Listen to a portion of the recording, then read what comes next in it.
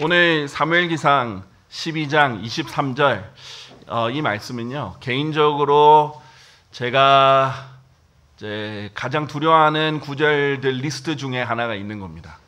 제가 아침에 아침에 딱 눈을 뜨면 아마 이제 가장 먼저 상기하는 구절 중에 하나가 이걸 거예요. 이 사무엘이 무엇이라고 말했는지 한번 보십시오. 이뿐만 아니라 나로 말하자면 사무엘이 말하는 거예요. 누구에게? 이스라엘 사람들에게. 사무엘은 누구죠? 어, 이스라엘의 판관이었어요. 이스라엘의 리더였어요. 종교적으로도 어, 제사장으로서 또 영적으로 어, 이 예언자로서 또 정치적으로도 이 사람들을 판단을 해줘야 되고 이끌어가야 되는 판관으로서 부담이 있었을 겁니다. 여러분 잘 알다시피 이 사사기에 있는 판관들의 시대 있죠. 우리가 재판관이라고 하지 않는 것은 재판관은 진짜 재판만 하는 사람이지만 판관은 이 구약 시대의 재정 일치 시대의 통치자를 말합니다. 그래서 삼손 같은 경우에는 재판만 한 게 아니라 실제로 어, 군사를 이끌고 전쟁을 수행하는 사람이죠. 삼손은 워낙 혼자가 셌기 때문에 다른 사람 필요 없이 혼자 나가서 전쟁을 했지만 어, 일반적인 뭐 기드온이 기드온이나 뭐 발락이나 아, 발, 아 발락이 아니라 어, 그 다른 사자 같은 경우에는 어떻게 해요? 이 군사들을 이끌고 소집해서 나가서 싸우고 이끄는 그런 구, 국군 통수권자의 역할도 했습니다. 자, 그러니까 종교적으로나 정치적으로나 영적으로나 다 리더예요. 사무엘이 지금 부담이 많이 컸겠죠. 어, 또 책임감이 있었겠죠. 자, 그리고 이 사무엘이 지금 어떤 일에 직면하냐면요. 사무엘이 나이가 들고 아들들이 이렇게 있는데 아들들이 좋은 아들들이 아니에요. 아들들이 이제 탐탁치가 않으니까 이 사람들이 왕을 구하는 겁니다. 근데 왕을 구하는 목적이 불순합니다. 하나님께서 지금 말씀해 주신 대로 따르고 사무엘을 통해서 듣는 것보다 세상 사람들은 지금 왕을 가져서 강력한 왕권으로 나라가 부강해지고 있거든요. 아, 우리도 그렇게 됐으면 좋겠다. 이게 세상이 부러운 거죠. 하나님이 선택하신 민족인데 다른 이방 민족들이 부러운 겁니다. 그렇게 해서 이제 왕을 달라고 합니다. 하나님께 조금만 더 기다렸으면 하나님께서 원래 생각하고 있던 다윗이 준비되고 있었는데 그럼에도 불구하고 어, 이 사람들은 자기들 방식대로 원했기 때문에 결국 사울이 주어지게 되죠. 자, 그런 상태에서 사무엘은 일종의 거부를 당하는 상태입니다. 근데 하나님께서 너를 거부한 게 아니라 나를 거부한 거다. 이렇게 하는 겁니다. 결국은 그 회중의 말을 들어줘요. 자, 그런데 그것이 하나님 뜻이 아닐 수도 있죠. 자, 그래서 하는 이제 사무엘이 마지막으로 이제 왕을 세우면서 자기는 인수인계를 할 때 하기 전에 간증을 합니다. 내가 어느 누구에게 압제를 한 적이 있는지, 내가 뇌물을 취한 적이 있는지, 내가 누구를 왜, 어, 재판을 왜곡을 한 적이 있는지 어, 이런 것을 하면서 묻는데 사람들이 다 없다고 대답하죠. 대단한 사람이죠 사무엘은 우리 우리나라 정치인 중에 이런 사람 한 명도 없겠죠. 어, 감히 어, 전 국민이 대답하기로는 절대 그런 일 없었습니다. 이렇게 말할 수 있는 사람 어, 세상 역사에서도 굉장히 보기 드문 사람일 텐데 사무엘은 그런 사람이었어요. 자 그래서 사무엘이 이제 마지막으로 이렇게 얘기를 합니다. 그렇게 얘기하는 것 중에 지금 어, 중요한 자기와 관련된 부분인데 이스라엘과의 관계에서 얘기를 합니다. 이뿐만 아니라 나로 말하자면 내가 너희를 위하여 기도하기를 중단, 중단함으로써 주를 대적하여 죄를 짓는 것을 하나님께서 금하시기를 바라노라. 오려 나는 너에게 선하고 옳은 길을 가르치겠노라 했어요. 사무엘은 참 신실한 사람이에요. 지금 이제 왕이 생기면 정치적인 권한은 왕에게 가죠. 하지만 여전히 사무엘은 예언자로서 또 제사장으로서 하나님의 말씀을 가르치고 또 어떤 책무가 있는 거예요? 가르치겠노라 뿐만 아니라 그 전에 뭐 있었죠? 기도하겠노라 하는 거 있었죠. 기도할 영적 책무를 가지고 있는 거예요. 자, 그래서 이 사무엘은 내가 너희를 위해서 계속 중단 없이 기도하겠어. 이렇게 했는데 지금 그냥 내가 너희를 위해서 기도할게 라고만 언급한 게 아니에요. 내가 만약에 너희를 위해서 기도하기를 중단한다면 나는 주를 대적하여 죄를 짓는 거다라고 얘기를 하고 있습니다. 자, 이게 어마어마하게 무서운 일이에요.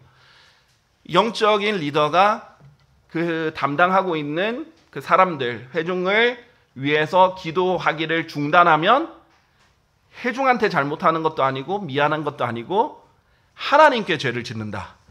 굉장히 어, 무서운 말이죠.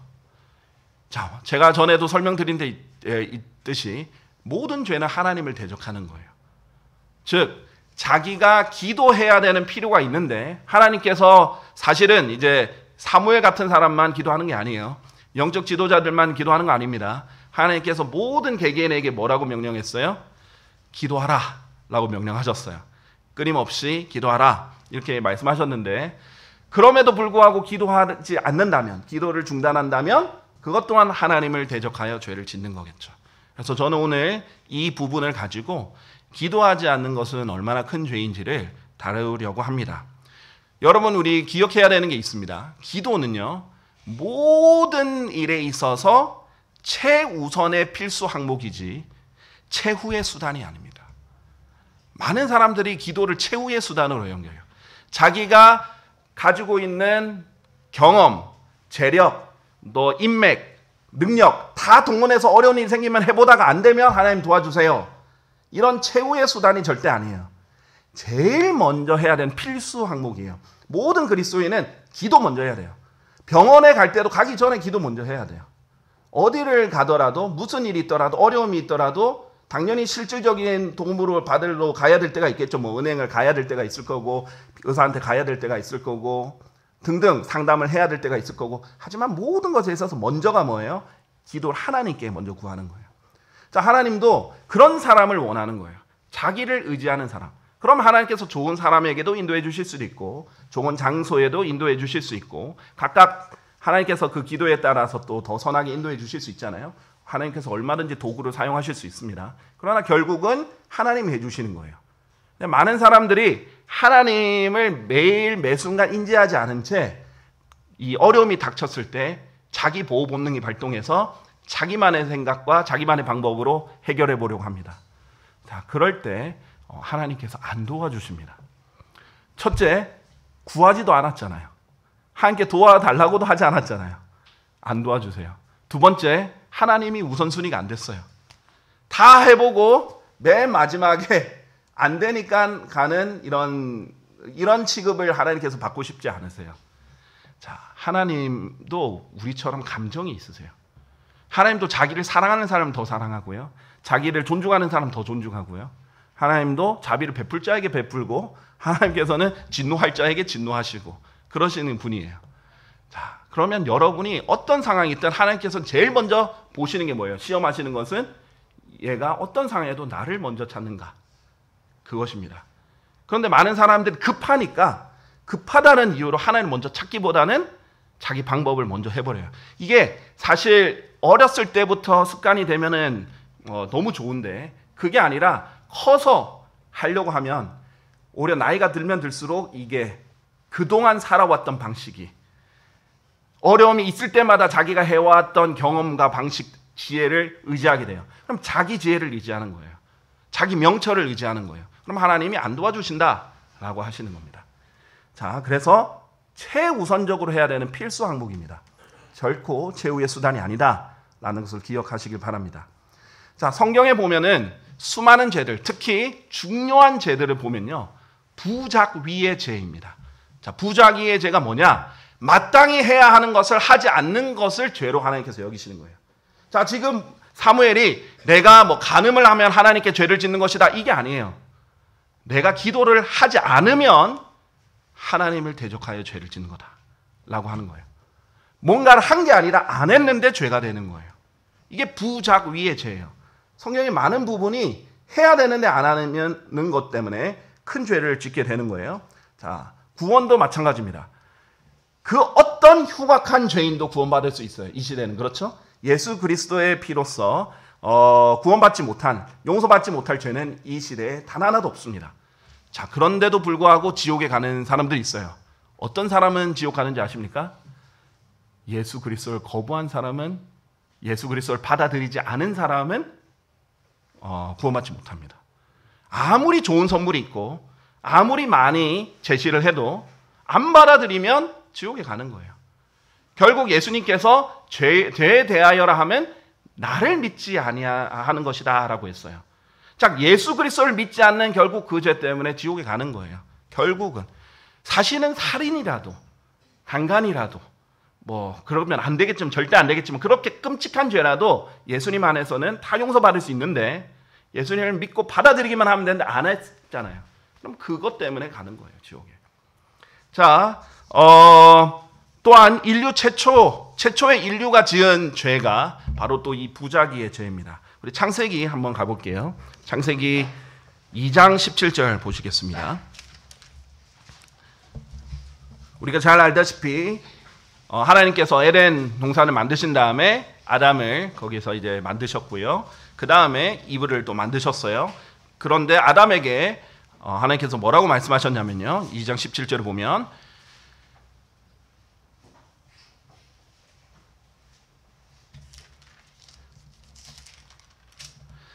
그러나 아, 16절부터 볼게요. 그러고 나서 주 하나님께서는 그 남자에게 명령하시어 이같이 말씀하셨느니라. 너는 동산의 모든 나무마다 그것에서 나는 열매를 값없이 먹을 수 있느니라. 다 모든 나무마다 하나하나 다 먹을 수 있다. 값없이 먹을 수 있다. 그것도 공짜다. 이렇게 얘기를 했는데 17절 그러나 선악의 지식의 나무에서 나는 것 그것은 내가 먹지 말라. 하나 딱 금지하셨어요. 선악의 지식의 나무에서 나는 것. 이는 내가 그것에서 나는 것을 먹는 그날에 너는 반드시 죽을 것이기 때문이라 했어요.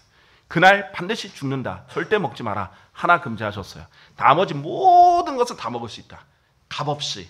하나님의 은혜가 굉장히 크죠. 그리고 하나님의 심판도 굉장히 엄숙합니다. 반드시 죽는다. 이렇게 하셨어요. 창세기 3장 1절. 어, 이 뱀이 사탄이죠. 어, 연약한 이브부터 먼저 공략을 합니다. 이브에게 이렇게 말합니다. 진정 하나님께서 너희는 동산의 모든 나무에서 나는 것마다 먹지 말라고 말씀하셨느냐? 그러지 않았죠. 하나님께서 동산의 어, 동산의 모든 나무에서 나는 것은 다 먹어도 된다고 했죠. 먹어도 된다 하셨느냐가 아니라 먹지 말라고 하셨느냐? not 하나 지금 바꾼 거예요. 자, 이렇게 시험을 합니다. 그리고 불만을 조성시켜요. 야, 하나님이 아유, 너무 째째하신데 그것도 뭐 먹지 말라고 하는 그런 것도 있어? 이런 식으로 아, 모든 걸 먹지 말래? 이런 식으로 부추기잖아요. 사람 보통 누구를 이간질을 시키거나 뭘 불만을 폭증시키려면 이런 식으로 옆에서 말리는 시누이가 더 밉다고 이렇게 지금 뱀이 얘기를 합니다. 그랬더니 여인 이 여자가 이렇게 바로 이브가 반응을 하죠. 그러나 그 여자가 그 뱀에게 이같이 말하였더라.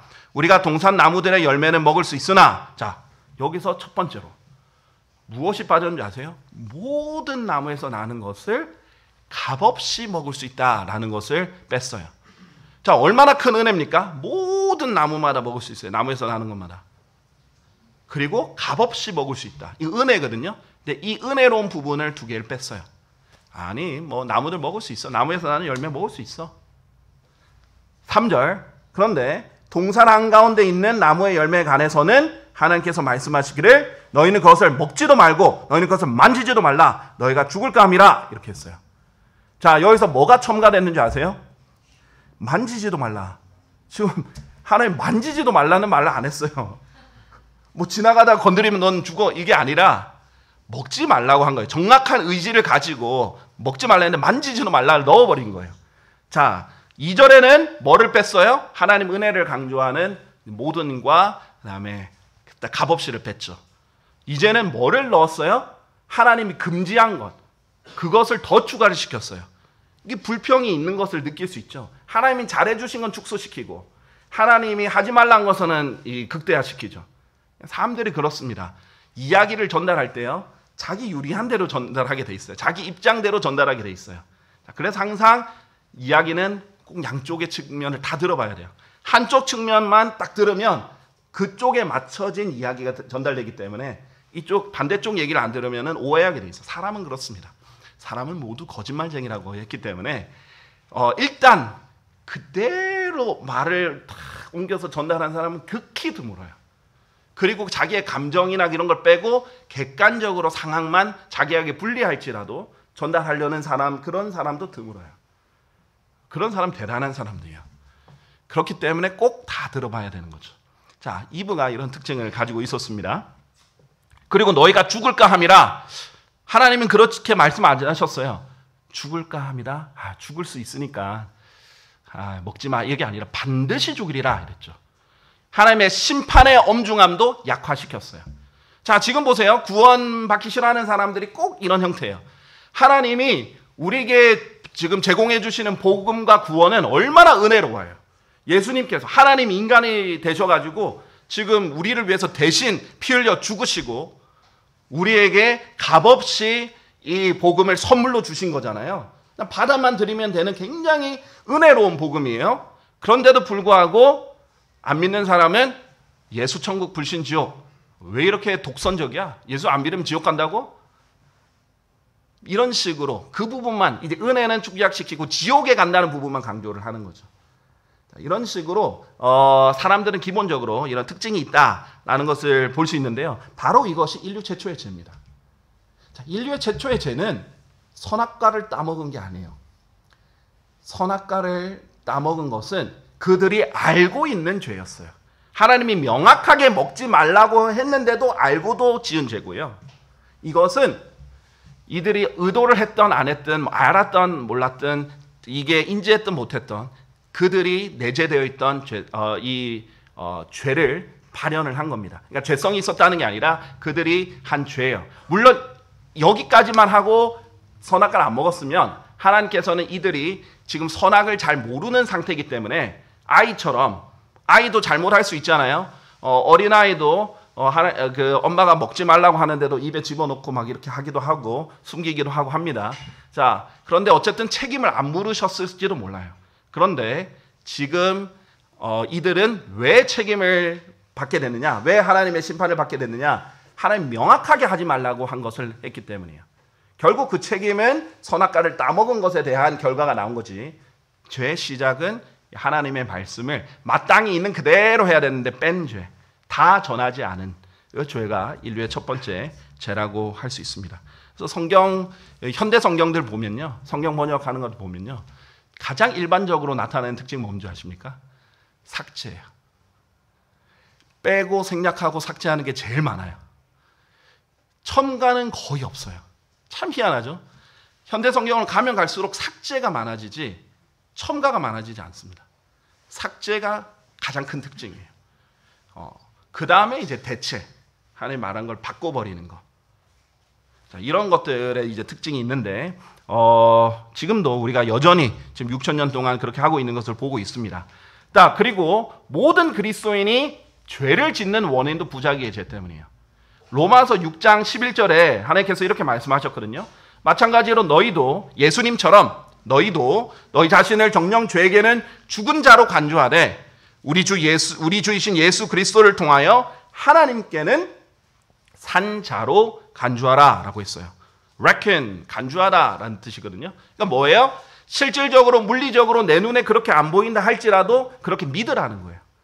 그렇게 여기고 그렇게 믿으라는 거예요.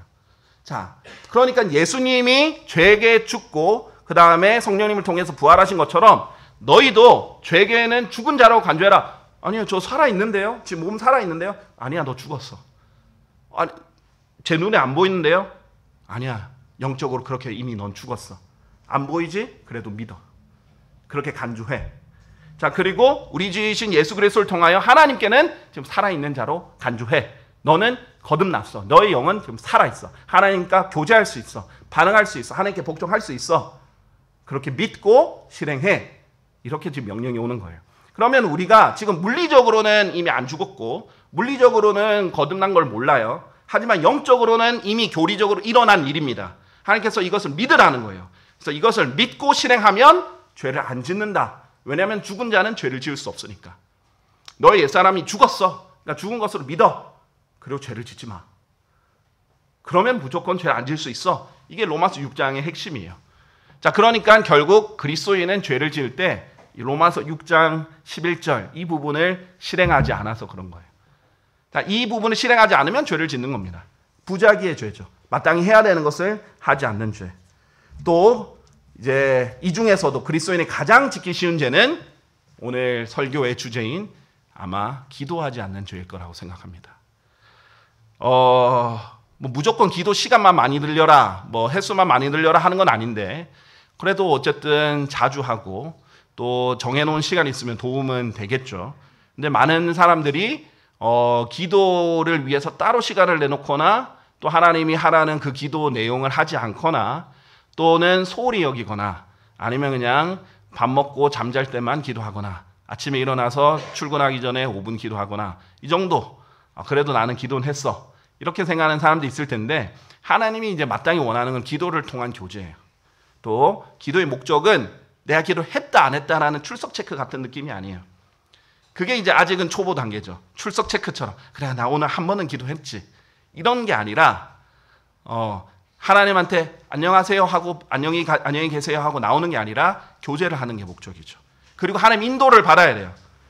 오늘뿐만 아니라 앞으로도 그렇고 계속 하나님 뜻을 구해야 되는데 하나님 제가 하나님 뜻을 이런 이런 이런 부분에서 구체적으로 제가 하나님 인도를 받아야 됩니다. 하나님이 분명히 저에게 알려주셔야 됩니다. 하나님 뜻을 보여주십시오. 하나님 말씀을 통해서 보여주시고 환경을 통해서 보여주시고 또 성령님을 통해서 확신을 주십시오. 또 제가 알 수 있는 이 우둔한 제가 알 수 있는 방법을 주셔야 됩니다. 어, 알려주십시오. 간청을 하면서 하나 하나 이렇게 하는 거예요. 마틴 루터는 하루에 두세 시간씩 기도를 매일 했다고 그래요. 마틴 루터는 굉장히 바쁜 사람이었거든요. 성경 번역에서도 바빴지만은 거의 거의 매일 뭐 일주일에 뭐 여러 번 이 전도지를 작성을 했다 그래요. 그렇게 해서 무렸죠. 또 이제 개혁을 일으키다 보니까 곳곳에서 연락도 오고 또 개혁을 해야 되는 부분들도 있고 바쁜데도 기도를 꼭 몇 시간씩 했어요. 자, 그래서 누가 물었습니다. 아유, 바쁘신데 기도할 시간 어, 부족하지 않으세요? 그랬, 그랬더니 마틴 루터가 저는 너무 바빠서 기도합니다. 근데 저는 처음에는 그걸 이해 못 했는데 사역을 하면 할수록 와닿습니다. 사역뿐만 아니라 여러분 모든 일도 인생의 일도 그런데요. 하나님께 구하고 하나님 인도를 받고 하나님께 기도하고 하나님 승인을 요청하고 하나님 도우심을 찾고 하나님 우선순위로 두고 기도를 해서 한 것은요. 마치 기차를 누가 밀어주는 것처럼 앞으로 갑니다. 인도돼요. 그리고 이루어집니다. 그런데 그렇게 하지 않고 너무 바쁘다는 이유로 그런 걸 소홀히 하고 내 힘으로 내 지혜로 내 능력으로 난 이거는 또 여러 번 해본 경험이 있으니까 했던 거는요 희한하게 도, 다람쥐 쳇바퀴 돌듯이 돌아옵니다. 결국은 시간이 더 많이 걸려요. 더 오래 걸리고 성공도 못해요. 근데 하나님이 그리스도인이니까 더 그러십니다. 특히 이제 믿은 지 구원받은 지 얼마 안 될 때는 하나님께서 허용을 해주시거나 도와주실 수도 있어요. 기대치가 낮으시니까. 근데 이제 시간이 가면 갈수록 더더욱 하나님께서는 자기한테 의지 안 하면 일부러 일이 안 되게 해주세요. 왜? 자기를 더 찾으라는 거예요. 그리고 더 성장을 한 걸 알기 때문에 더 성장하기 위해서라도 그렇게 하라는 거예요. 정말 어떨 때는 막막하고 갑갑하고 해결책이 없을 정도 하나님 안 도와주실 때도 있어요. 그럼 더, 더 하나님께 붙들라는 거예요. 하나님께 가까이 가라는 거거든요. 그런데 그렇지 않고 계속 자기만의 방식과 방법으로 이 꾀를 내고 검색해보고 찾아보고 연락해보고 막 열심히 뛰어다녀요. 그래도 안 될 수 있습니다. 어, 그러니까 바쁘면 바쁠수록 특히 사역은요 기도로 이루어지는 거예요. 바쁘면 바쁠수록 하나님께 말씀드리고 하나님께 지혜를 구하고 하나님께 허락을 맡아야 돼요. 인도를 구하고. 자 그렇게 해야 사역은 진행이 됩니다. 그러니까 바쁘면 바쁠수록 기도해야 될 목록이 가득한 거예요. 많은 거예요. 제가 이제 번역하느라 그 제 기도 용지를 이제 더 추가를 못하고 있는 데서 또 쓰고 또 쓰고 이렇게 그때그때 추, 추가하는 것마다 쓰다 보니까 지금 너덜너덜해졌어요. 그런데 그게 지금 거기 있는 기도해야 되는 것들만 해도 수십 수백 가지가 있습니다. 그리고 제가 제일 두려워하는 것 중에 하나가 목자로서 내가 꼭 해야 되는 거. 저희 성도님들 이름 하나하나는 다 부르면서 기도한다. 그래서 저의 목록에는 이제 저희가 이제 회원들도 그렇고 방문자까지 하면 백 수십 명이 되거든요. 어, 그분들 이름이 다 적혀 있어요. 매일 일부러 기도를 한 분씩 한 분씩 이름을 거명하면서 기도해요. 그게 제 책무니까. 제가 해야 되니까. 하나님께 나중에 설명을 해야 되니까. 그게 이제 제가 사무엘상 아까 전에 그걸 읽으면서 두렵다고 한 부분이에요.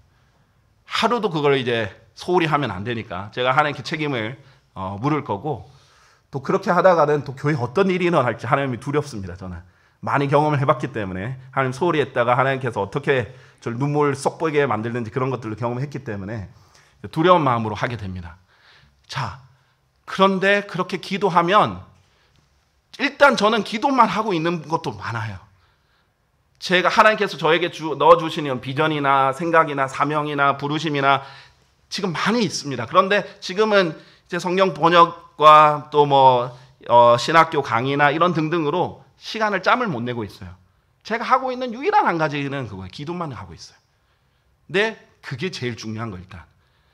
어떤 거는 몇 년째 계속 기도만 하고 있어요. 시작도 못 했어요. 그런데 어떤 것들은 기도만 하고 있었는데 하나님께서 되게 해주세요. 저는 시간이 없어서 자꾸 이 산판 작업도 끝내야 되니까 번역만 신경 쓰고 이제 또 뭐 연락 오는 거 받고 이렇게 뭐 신학원 하고 이렇게 하고 있는데 하나님이 어떤 사람을 보내주시고 또 그 사람이 내가 말할 도 안 했는데 하겠다 그러고 어, 또 맡아서 하고 이게 진행되고 이루어지는 거예요. 저는 그걸 할 수가 없어가지고 기도를 기도만 계속 뭐 몇 달에서 몇 년째 하고 있거든요. 근데 그런 것들이 하나씩 이루어지는 거예요. 제일 중요한 게 기도입니다. 바쁘면 바쁠수록 기도 시간, 기도를 구체적으로 할 게 많아져야 돼요. 그리고 얼마나 지혜를 구할 게 많습니까?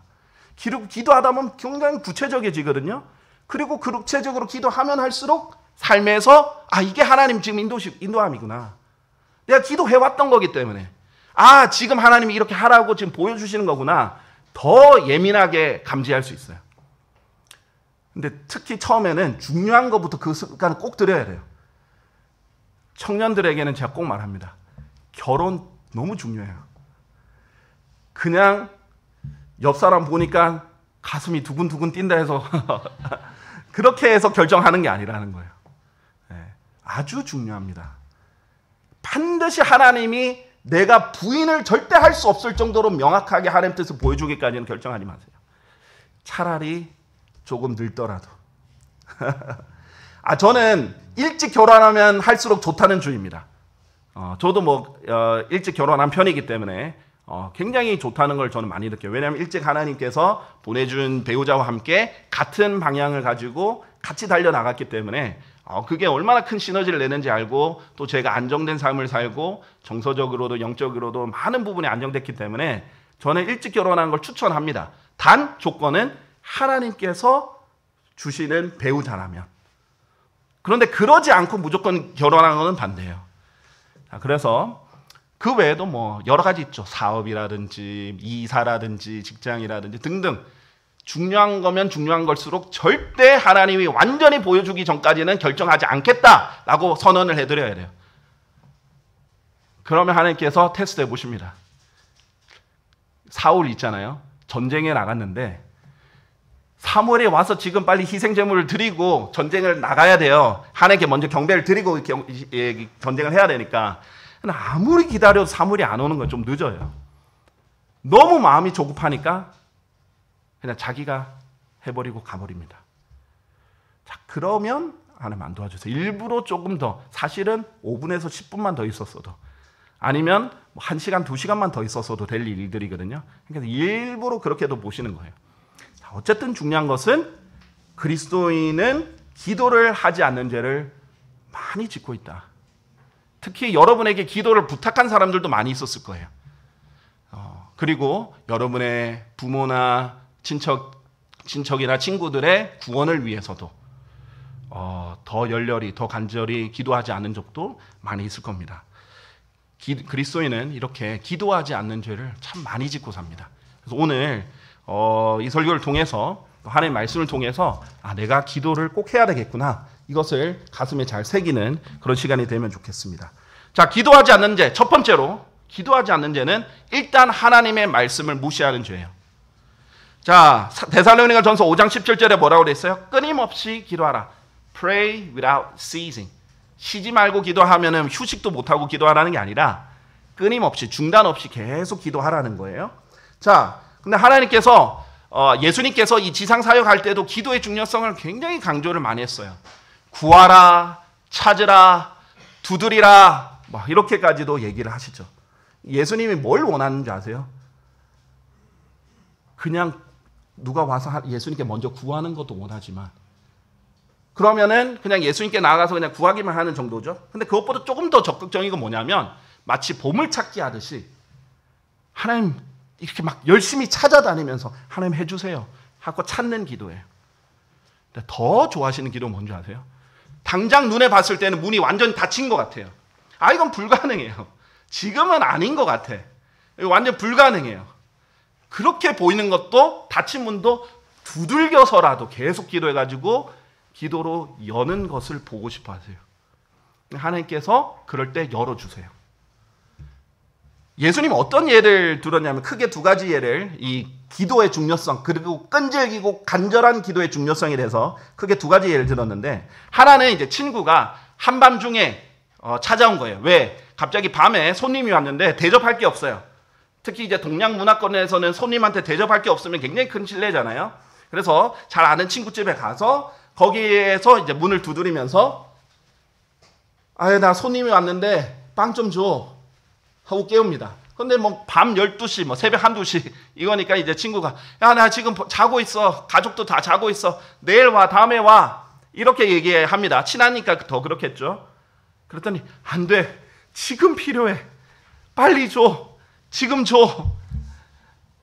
계속 두드리니까 잠을 못 자겠는 거예요.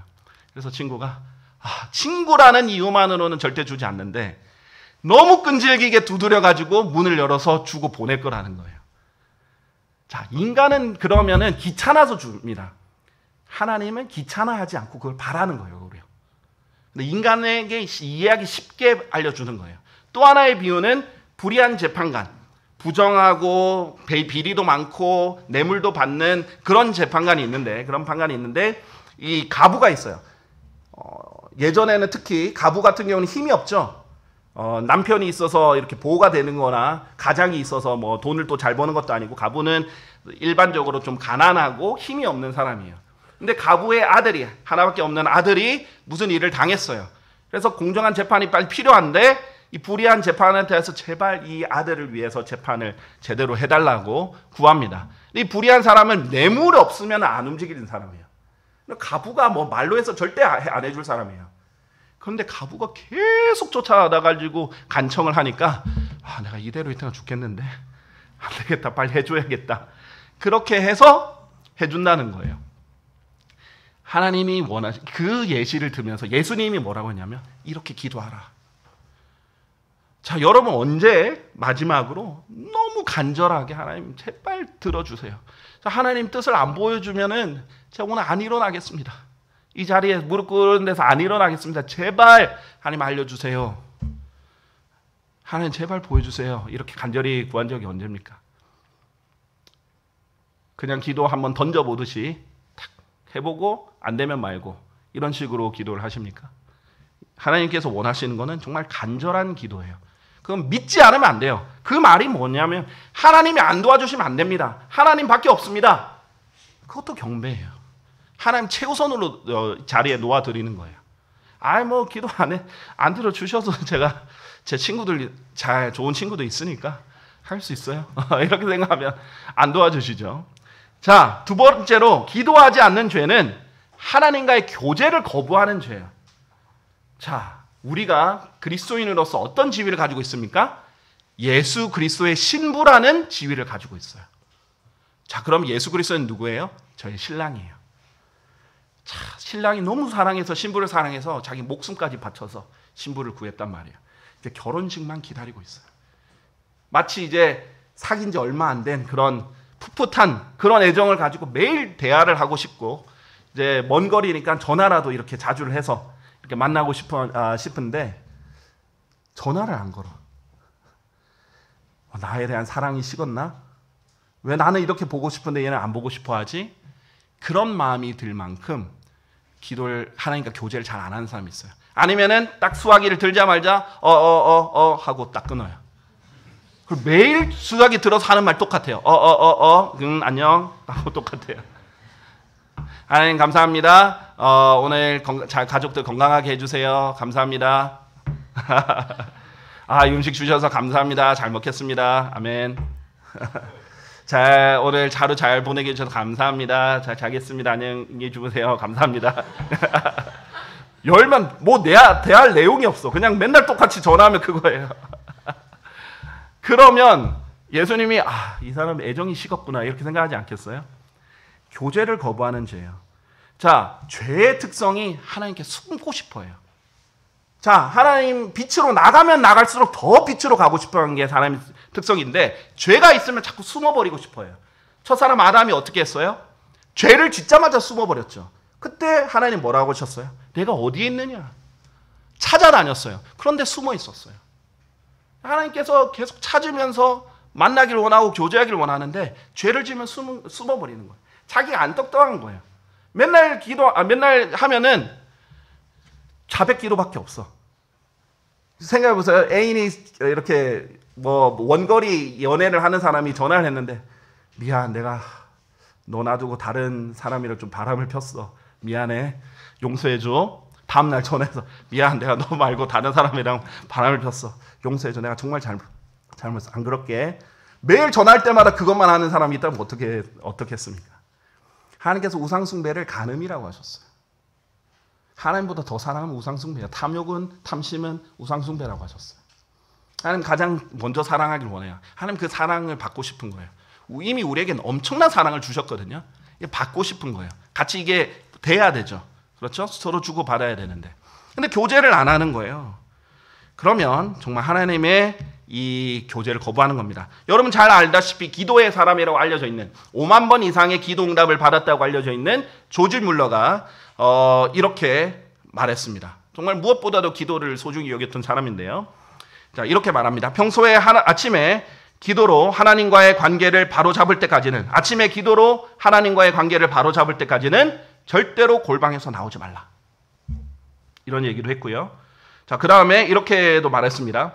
새로운 장소들과 멋진 경치들을 보며 여행하는 것을 나보다 더 열광하는 사람은 거의 없을 것이다. 조지 물러가 여행을 굉장히 좋아했어요.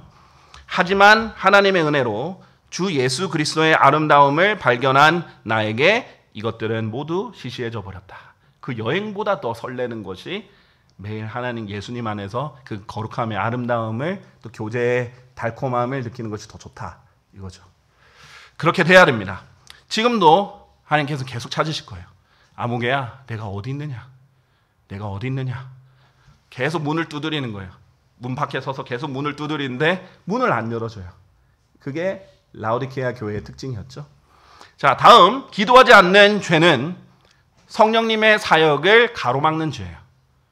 자, 성령님의 사역은 성령님의 힘으로 돌아가는 거죠. 하나님께서 힘으로 하는 것도 아니고 권능으로 하는 것도 아니고 능력도 아니고 오직 나의 영에 의해서다 이렇게 얘기를 했거든요.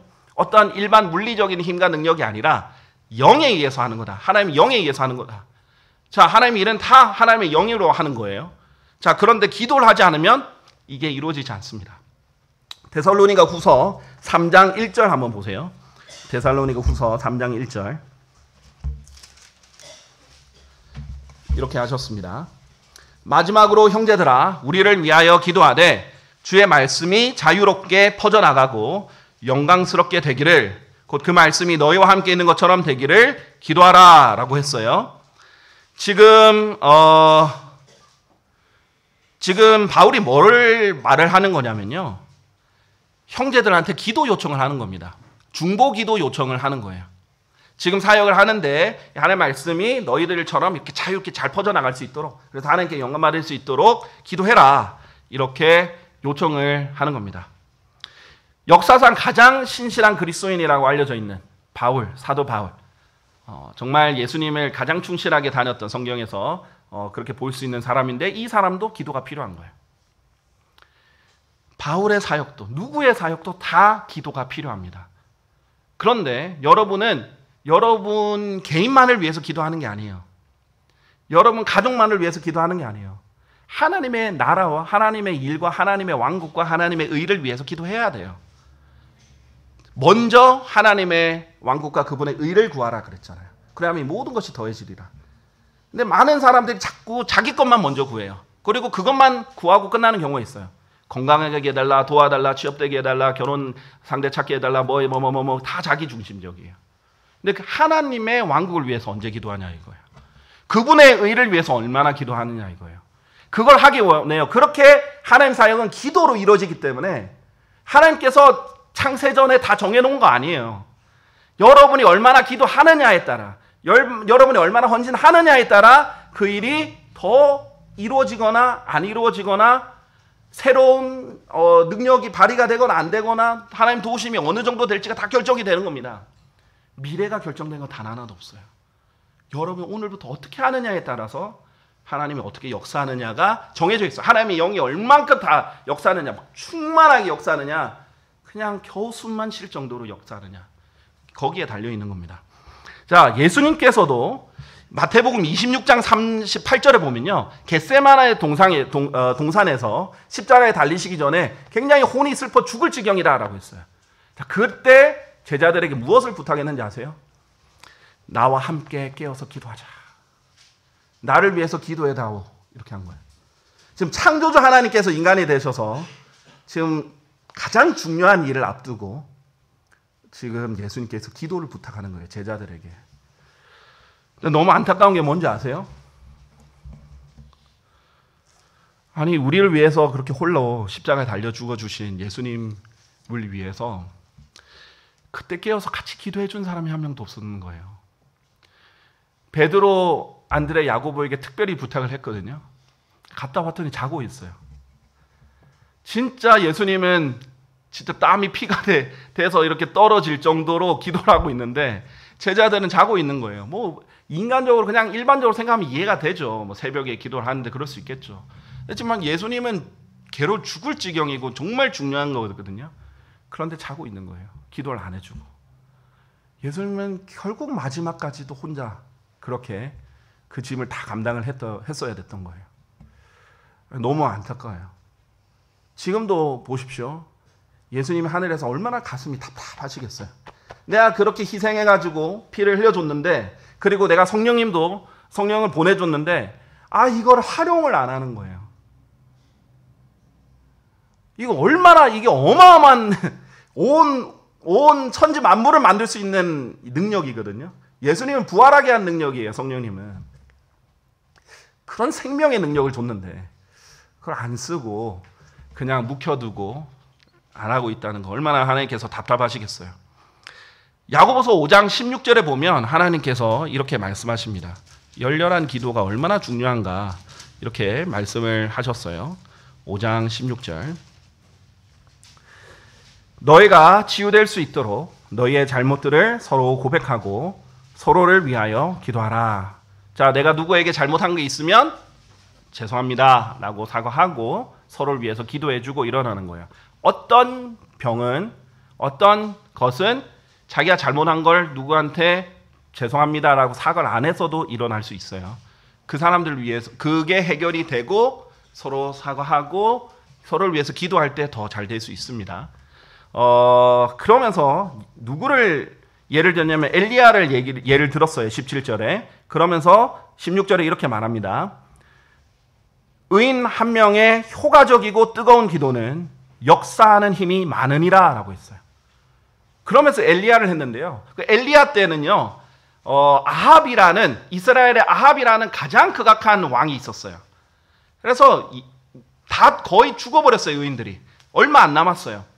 다 변절이 됐고 멀리 가 있고 엘리야는 자기 혼자인 것처럼 느꼈지만 하나님께서 아직도 바알에게 무릎 꿇지 않은 그런 7천 명을 뒀다. 이런 것을 위인, 위안을 해주셨죠. 근데 그만큼 혼자인 것처럼 그렇게 느끼고 사역을 했던 사람인데요. 엘리야가 혼자서 기도했더니 3년 반 동안 비가 안 왔어요. 그리고 엘리야가 혼자 기도했더니 비가 왔어요. 그 3년 반 동안 수많은 사람들이 기도했어요.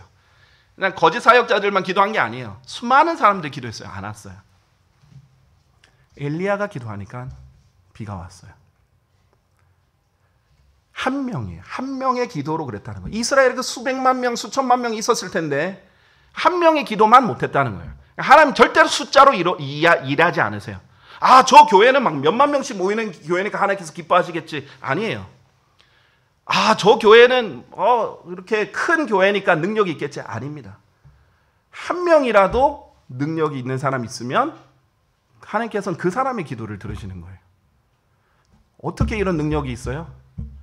열렬한 기도를 했기 때문이에요. 뜨거운 기도라고 있어요. 효과적이고 뜨거운 기도예요.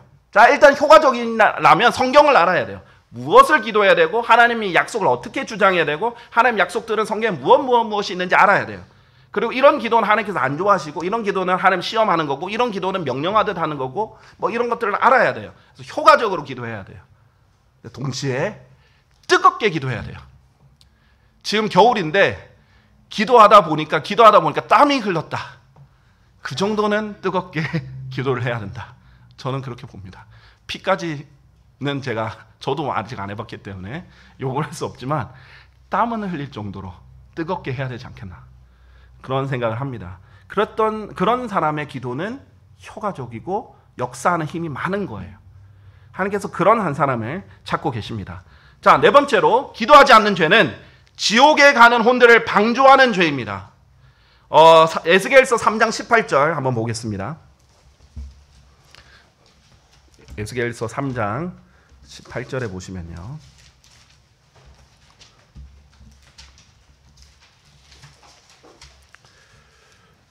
이렇게 되어 있습니다. 내가 악인에게 말하기를 너는 반드시 죽으리라 할 때 만일 내가 그에게 경고를 주지 아니하고 지금 하나님이 말씀하시는 거예요. 하나님이 내가 악인에게 말하기를 넌 반드시 죽으리라. 자, 경고를 했죠. 심판을 경고를 했습니다. 이제 곧 심판이 임할 겁니다. 자, 그렇게 했는데 어 지금 몇 절이죠? 18절. 만일 내가 너가 그에게 경고를 주지 아니하고 그의 사악한 길에서 떠나 자기 생명을 구하도록 그 사악한 자에게 경고하는 말을 하지 아니하는 경우에는 바로 그 사악한 사람은 그의 죄악 가운데서 죽을 것이나 나는 그의 피를 너의 손에서 요구하겠노라 했어요. 하나님께서 분명히 심판과 경고와 책망을 하시는데 이것을 너가 전해야 된다는 거예요. 그 사악한 사람들에게. 자, 그렇게 하지 않으면 그 사람은 자기 죄 때문에 죽을 거고 변명 없이 죽겠지만은 내가 그 피는 너에게 너의 손에게 요구하겠다라는 거예요. 굉장히 무서운 말이에요. 아, 이게 그냥 구약 아닙니까? 아니에요. 바울이 이것을 인용하면서 자기에게 적용을 했어요. 사도행전 20장 26절 보십시오.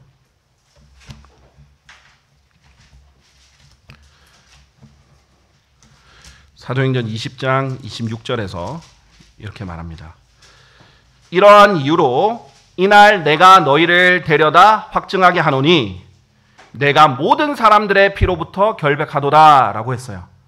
그 전에 보면 25절에 보면 너희 가운데 내가 다니며 하나님의 왕국을 선, 선포하였으나 이제는 너희 모두가 나의 얼굴을 더 이상 보지 못하리라는 것을 내가 노라. 지금 이제 마지막 작별하기 전에 내가 너희, 너에게 하는 말씀을 이렇게 알려주고 알려주고 이렇게 했지 않냐.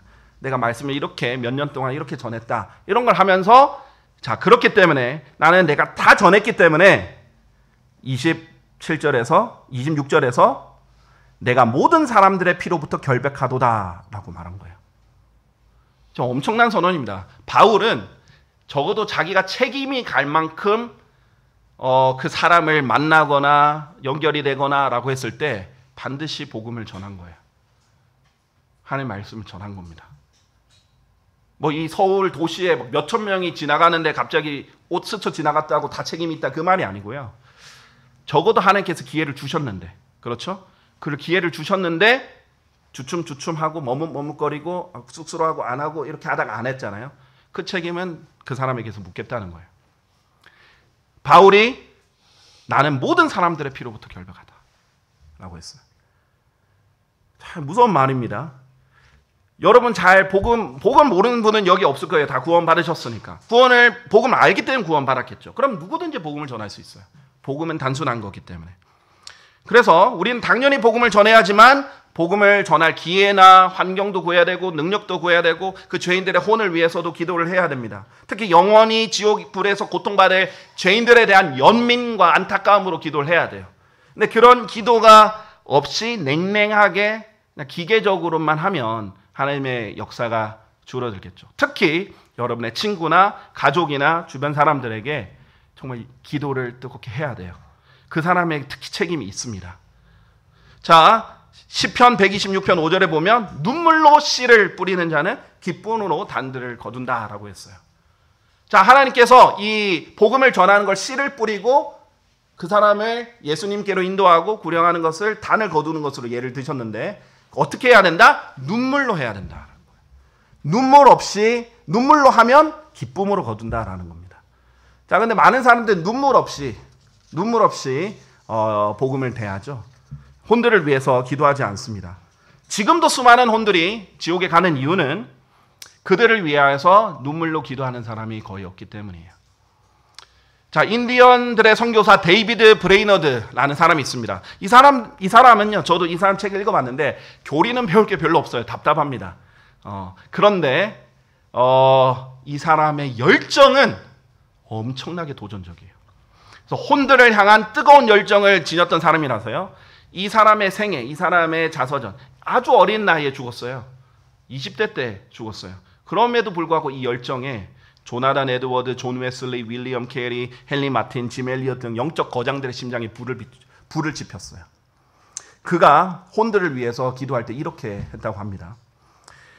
주님, 제가 여기 있사오니 저를 보내소서, 저를 세상 끝으로 보내소서, 거친 땅, 광야에 사는 사나운 이교도들에게 저를 보내소서, 세상의 모든 안락을 버리게 하소서, 주님을 섬기는 일이며 하나님의 왕국을 위해서라면 죽음도 두렵지 않습니다. 엄청난 열정이죠.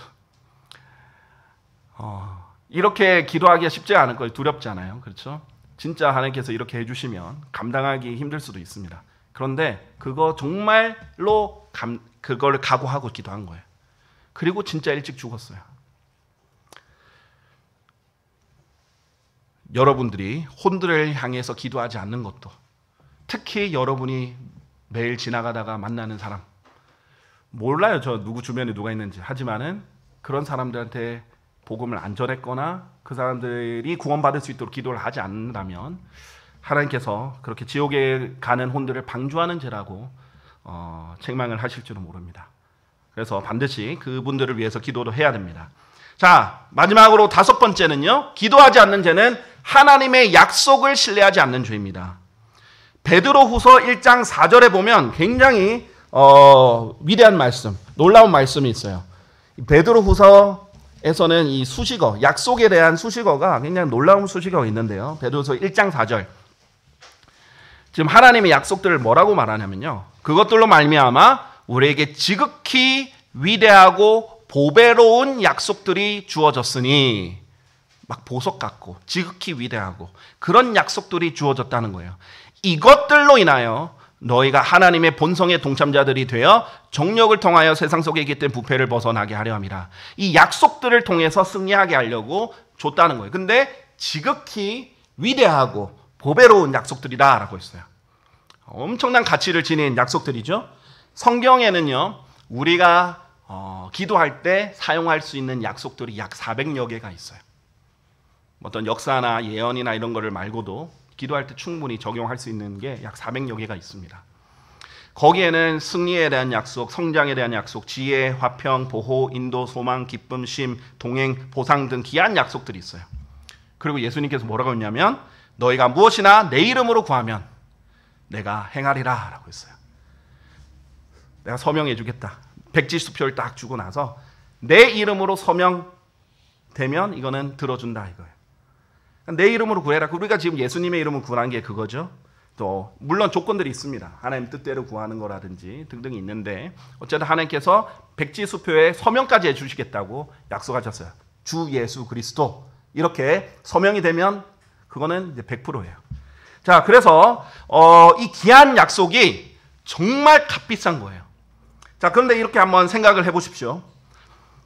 어, 삼성 뭐그 이재용 회장이 여러분에게 백지수표를 줬어요. 누가 주느냐에 따라서도 능력이 다르죠.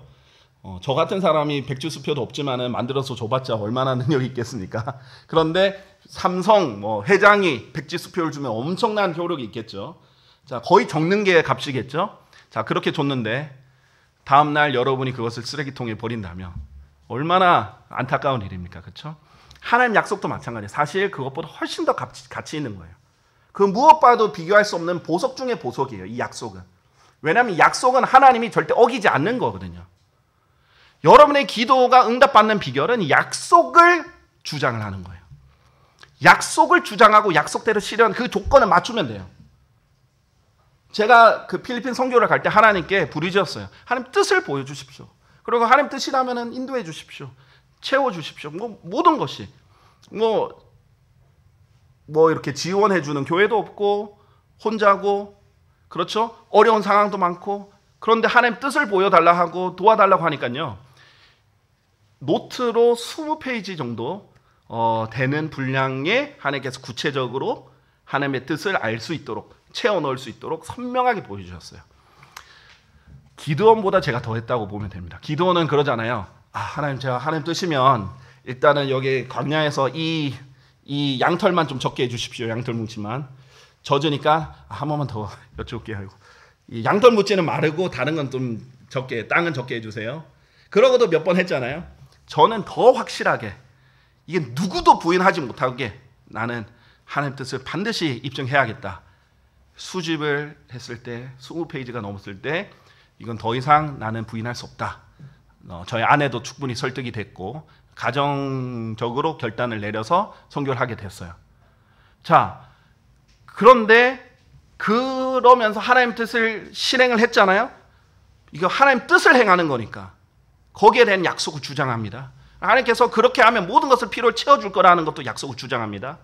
그 외에도 모든 이 관련된 약속 그리고 하나님께 호의를 받는 방법, 하나님 기쁘시게 하는 그런 성경에 적힌 것들을 실행을 해요. 그렇게 기도를 드리니까 놀랍게 다 인도해 주세요. 제가 무슨 돈이 있어서 필리핀에 혼자 사, 역하러 가겠어요. 근데 하나님께서 4년 4년 반 만에 4년 몇 개월 만에 일곱 교회 지역 교회를 세우게 해 주신 거예요. 그건 놀라운 거예요. 제가 보면 어떻게 그렇게 됐지? 지금 생각 보면 제가 한 게 절대 아닌 거예요. 자, 그런데 이런 보석과 같은 약속들이 있는데 저도 그것들을 다 활용을 제대로 못한 거예요. 저도 하나님께 죄를 많이 지었죠. 훨씬 더 제가 더 잘 기도를 할수 있었는데 소리했던 적도 많이 있습니다. 그런데 만약에 여러분이 이런 것들 소홀히 여긴다면 수 뭐 이 수천만 원, 수억 비교도 할 수 없을 만큼 귀한 보석 같은 약속들 있는데 그냥 쓰레기통에 박아버린다면 여러분은 하나님께 죄를 짓고 있는 것입니다. 하나님 약속을 신뢰하지 않는 거고 불신하는 죄입니다. 자, 마지막으로 하나의 예시를 들어 드릴게요. 스코틀랜드의 개혁가 존 녹스가 있습니다. 이 존 녹스는 이제 스코틀랜드 장로교를 이제 세운 사람인데요. 우리나라의 장로교는 이 사실 칼빈의 장로교보다는 스코틀랜드 장로교의 영향을 더 받았다라고 보시면 됩니다. 어, 이 사람 개혁가에다가 또 기도의 사람이었어요. 그래서 그 당시 영국에는 피의 메리라고 불리는 메리 여왕이 다스릴 때요. 그러니까 피의 메리라는 Bloody Mary라는 이제 이름이 붙을 정도로 사실은 끔찍한 여왕입니다. 철저한 로마 카톨릭 교도거든요. 그래서 신앙이 다르면은 죽여버렸어요. 거의 매일 광장에선 피가 마른 날이 없었어요. 자, 그렇게 잡아 죽이던 피의 메리 밑에 있었는데 그럼에도 이 존 녹스는 계속해서 개혁을 일으켰죠. 그런데 이 피의 메리가 이렇게 말했어요. 이 존 녹스에 대해서 어, 이렇게 말합니다. 나는 어, 아, 이렇게 말합니다. 나는 유럽에 집결한 모든 군대보다 존 녹스의 기도가 더 무섭다. 아니, 무소불위의 권위를 가진 여왕이잖아요. 그냥 왕의 부인이 아니라 여왕이잖아요. 이 퀸으로서 그 다 잡아 죽일 수 있는 그런 사람. 심지어 존 녹스는 어, 감옥에도 갇히고 고문도 당하고 수많은 생명의 위협도 받았어요. 그래도 계속 기도해요. 그래도 계속 개혁해요. 그러니까 이 기도가 유럽의 군대보다 더 무섭다고 원수의 입에서 나오게 한 겁니다. 자, 기도는 정말 능력 있어요. 지극히 위대하고 보배로운 이 약속을 만약에 계약서 한 장보다 더 못하게 여긴다면 여러분 하나님께 죄를 짓고 있고 이것을 지극히 작고 천한 약속으로 여기고 있다는 것을 기억하시길 바랍니다. 미국의 한 설교자는 이렇게 말했습니다. 당신과 나의 가장 큰 죄는 기도하지 않는 죄이다. 나의 실패들은 기도하지 않은 실패들이다. 혼들이 구원받지 못하는 주된 이유는 그들을 위한 기도가 부족하기 때문이다. 나의 망설임과 지혜 없음과 하나님의 인도를 받지 못함은 모두 기도하지 않는 데서 나온 결과이다. 오 끔찍한 죄, 기도하지 않는 죄요. 여러분이 제가 생각했을 때 가장 쉽게 지을 수 있는 죄, 그리고 가장 감각이 무뎌져 있는 죄, 그리고 여러분을 잠식할 죄, 하나님께 그리스도 심판서에서 가장 많이 책망을 받을 죄, 아마 기도하지 않는 죄가 아닐까 생각됩니다. 여러분이 만약 아 나는 담배도 안 피고 술도 안 마시고 교회도 꼬박꼬박 잘 나오니까 괜찮은 사람이다. 나는 별로 죄를 많이 안 짓고 산다라고 생각하면 착각입니다. 성경의 큰 죄들은 대부분 부작위의 죄예요. 안 하는 거예요. 안 하는 죄가 더 큰 죄라는 것을 기억하시길 바랍니다. 자, 우리 다 같이 살아계시고 높고 높으시며 위대하신 주 하나님 아버지. 정말 전지전능하신 주님께서 이 온 천지 만물을 소유하신 주님께서 아무것도 아쉬운 것이 없으신 주님께서 저희가 구하기를 원하고 또 찾기를 원하고 또 두드리기를 원하고 매일 찾아오게 오기를 원하고 간절히 구하기를 원하고 자기 자신만 신뢰하기를 이렇게 원하시는 그런 정말 인격적이시고 사랑이 많으시고 또 위대하신 주님신 그 모든 것으로 인하여 주님을 찬양을 드립니다. 주님 그리고 저희에게 지극히 위대하고 보배로운 약속들을 주셔서 감사합니다. 저희가 이 약속들을 주장하고 사용하고 신뢰하고 적극적으로 어, 주님의 왕국과 주님의 의를 위해서 사용해서 정말 하나님의 영광이 돌려지고 하나님의 일이 이루어지고 또 하나님이 원하시는 또 각자의 인생에서 원하시는 일이 일어날 수 있도록 주님께서 도와주실 간절히 기도드립니다. 주님 각자의 가정에서 기도가 회복되게 해주십시오. 개개인의 삶에서 기도가 회복되게 해주십시오. 어, 이 교회에서 이 기도가 뜨거운 심장처럼 타오르게 해주실 간구드립니다. 좀 그래서 저에게 맡겨주신 주님의 귀한 일들이 단순히 어떤 노력과 시간과 일로만이 아니라 기도로 이루어질 수 있도록 도와주실 간절히 기도드립니다. 주님, 어, 주님께서 주님의 자상한 가르침에 감사드립니다. 오늘 이 지나고도 절대 잊지 않고 지속할 수 있도록 마음 깊숙이 새길 수 있도록 잘 뿌리 내릴 수 있도록 도와주시옵소서. 주님께 감사드리며 어, 여기 계신 또 온오프라인에 있는 모든 성도님들 주님께서 복을 주시고 동행해 주시옵소서. 위대하신 주 예수 그리스도의 이름으로 기도드렸습니다. 아멘.